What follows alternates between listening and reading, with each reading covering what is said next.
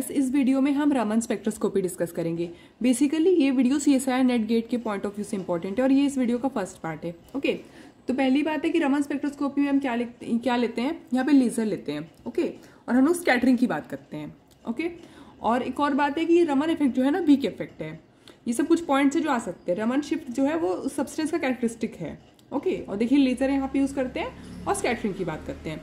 अब स्कैटरिंग पे देखिए, बात हुआ तो दो होता है। आप फिजिक्स में भी पढ़े होंगे स्कैटरिंग अगर तो इलास्टिक स्कैटरिंग होता है और नॉन इलास्टिक स्कैटरिंग होता है। सॉरी नॉन नहीं inelastic scattering okay elastic scattering में क्या होता है? देखिए थोड़ा सा थियोरिटिकल मतलब ना बैकग्राउंड इंपॉर्टेंट है। इलास्टिक स्कैटरिंग में क्या होता है ना, कोई एनर्जी का एक्सचेंज नहीं होता है।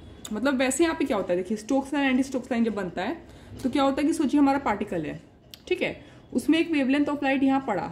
अब वो डिपेंड करेगा कि पहले ये एच न्यू था अब ये एच न्यू डैश हो गया, समझ लीजिए। पढ़ने के बाद जो यहाँ से एमिट हुआ, समझ रहे हैं ना? ये पहले गिरा इस पार्टिकल पे, फिर ये पढ़ने के बाद क्या हुआ? दो चीज़ हो सकता है। इसका फ्रीक्वेंसी घट भी सकता है और बढ़ भी सकता है। उस बेसिस पे स्टोक्स लाइन और एंटी स्टोक्स लाइन होते हैं।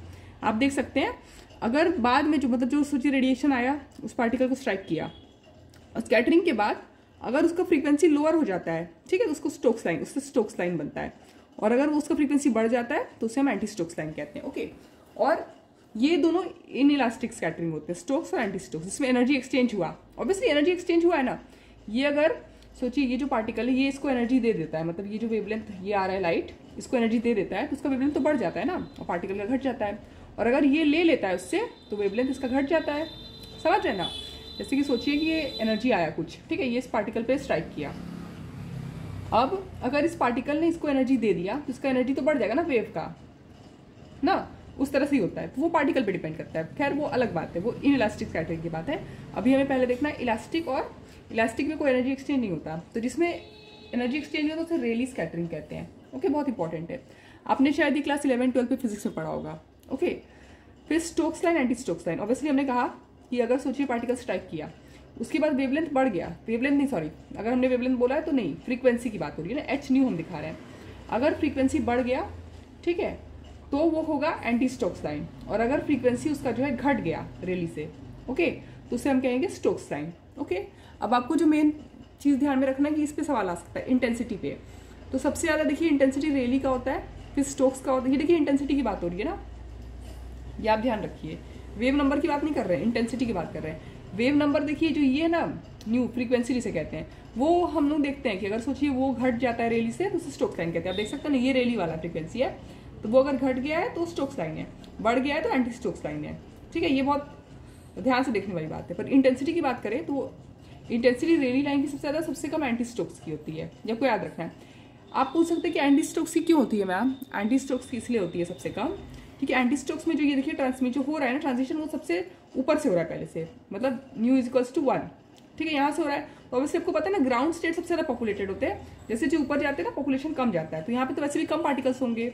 ना, इसलिए इंटेंसिटी किस पे डिपेंड करता है? आपने पढ़ा होगा इंटेंसिटी अगर स्पेक्ट्रोस्कोपी का आपको थोड़ा भी आइडिया रोटेशनल वगैरह का तो आपने पढ़ा होगा इंटेंसिटी नंबर ऑफ़ पार्टिकल्स पे डिपेंड करता है। तो ये तो पहले से ऊपर से स्टार्ट हो रहा है न्यूजिकल्स टू वन से डाउन से कहाँ हो रहा है?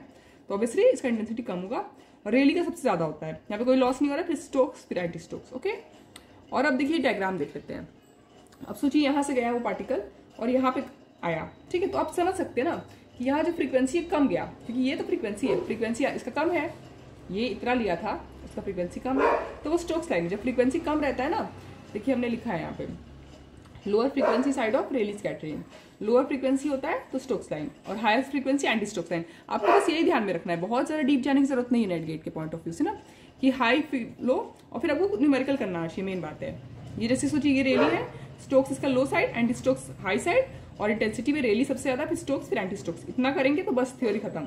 ठीक है Raman effect is weak effect is characteristic of a substance अब क्या है, देखिए, अगर आपको आपको बस ये करना है ना, अगर आपको वेवलेंथ के टर्म्स में सेंटीमीटर के टर्म्स में अगर आपको दिया है तो आप उससे Stokes line anti Stokes line कैसे निकालेंगे? ये आपको होना चाहिए। और बीच वाले को ना एक्साइटिंग लाइन कहते हैं। एक्साइटिंग लाइन मतलब वो दिखा होता है। आप क्वेश्चन देखेंगे ना, समझ जाएँगे कि अच्छा ये एक्साइटिंग लाइन है। ठीक है तो अगर आपको वेवलेंथ कोई दिया है ना तो उसको सबसे पहले पर सेंटीमीटर में कन्वर्ट करिए। अगर आपको मीटर में दिया है तो उसको वन अपॉन सोचिए, अगर मीटर में दिया तो सेंटीमीटर में करिए कन्वर्ट फिर उसको पर सेंटीमीटर में करिए। ओके ये न्यूमेरिकल इसका ट्रिकी ये है कि हर चीज़ आपको पर सेंटीमीटर में लेना है। आप इसको सेंटीमीटर में निकालने की कोशिश करेंगे तो बहुत दिक्कत होगा। पर सेंटीमीटर में करिए, फिर अगर आपको एक्साइटिंग लाइन दिया है तो उससे अगर आप सोचिए रमन शिफ्ट को माइनस करेंगे तो स्ट्रोक साइन आएगा और प्लस करेंगे तो एंटी स्ट्रोक साइन आएगा। लेकिन जो भी है, उसको आप पर सेंटीमीटर में कन्वर्ट करके करिए। तब आपका न्यूमेरिकल कभी गलत नहीं होगा। ओके हम इस पर एक न्यूमेरिकल डिस्कस कर लेंगे। ओके और आपको ये ध्यान में रखना है रमन शिफ्ट दोनों तरफ़ बराबर है। अगर आपको एक्साइटिंग लाइन का फ्रीक्वेंसी कोई दे दिया है, ना? आपको अगर फ्रीक्वेंसी सोचिए दे, दे दिया है तो आप उस, उसके उसके थ्रू से माइनस करेंगे एनर्जी तो स्ट्रोक साइन आएगा और प्लस करेंगे तो एंटी स्ट्रोक साइन आएगा।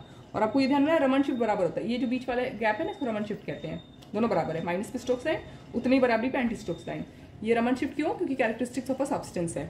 ओके बस आप ये ध्यान में रखिए कि पर सेंटीमीटर में इसको लेना है। ये बहुत इंपॉर्टेंट है। एक न्यूमेरिकल डिस्कस करेंगे आप समझ जाएँगे। Thank you